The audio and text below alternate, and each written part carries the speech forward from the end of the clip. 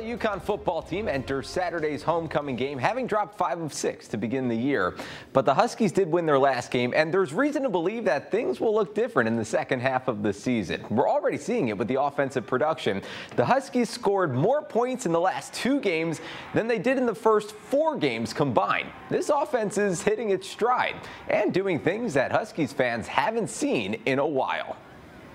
I don't know if you guys are aware of this, but it's been since 2010, which is what 13 years, 13, 14 seasons since this program has scored 30 consecutive point, 30 points in two consecutive games, which is, I mean, that's mind blowing.